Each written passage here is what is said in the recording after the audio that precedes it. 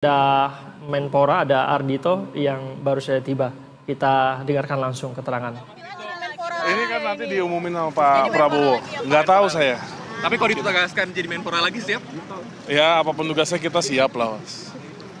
kira-kira berpasangan sama Mas Taufik Hidayat atau gimana?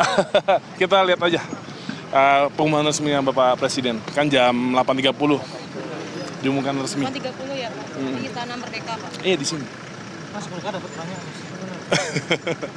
ya kan semua dilihat pasti dari apa namanya uh, integritas dan juga profilnya kan. Saya rasa kader-kader Golkar yang hari ini dipanggil juga kader-kader yang memiliki track record yang sangat jelas.